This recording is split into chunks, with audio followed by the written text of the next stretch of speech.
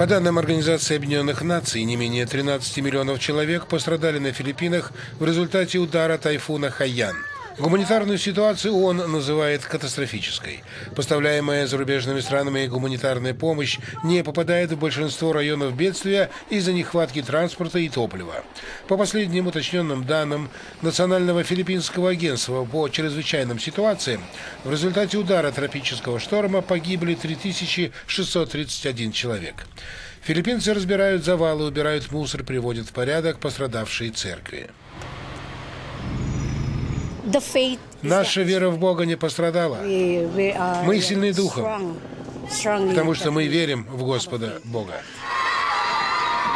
Убираться в церквях взрослым с большим удовольствием помогают маленькие филиппинцы.